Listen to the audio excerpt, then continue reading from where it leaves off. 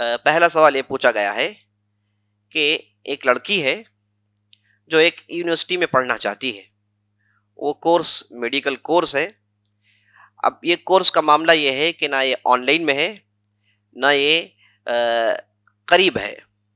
तो क्या ऐसी यूनिवर्सिटी में जाकर जहाँ पर हिजाब की पाबंदी का इंतज़ाम है हिजाब करने की इजाज़त है और साथ साथ नमाजें भी अदा करने का मौका फराहम किया जाता है क्या ऐसी जगह जाकर हम पढ़ सकते हैं? तो जवाब यह है कि बिल्कुल पढ़ सकते हैं।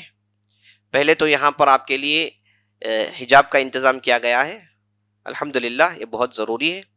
और नंबर दो, यहाँ पर आपको नमाज़ में भी दिक्कत नहीं होती है। आमतौर पर यह देखा गया कि यूनिवर्सिटीज़ के अंदर और कॉलेजेस के अंदर होता यह है कि लोगों को नमाज़ पढ़ने से रोकते हैं और नमाज़ पढ़ने के लिए उन्हें मौका फराहम नहीं करते।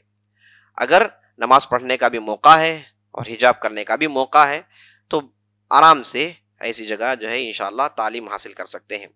अगर सवाल पूछने वालों ने ये नहीं ज़िक्र किया कि ये उन्हीं के घर के पास है या फिर कहीं अब्रॉड में जाना है, अगर अब्रॉड में जाना है तो साथ महरम का होना ज़रूरी है।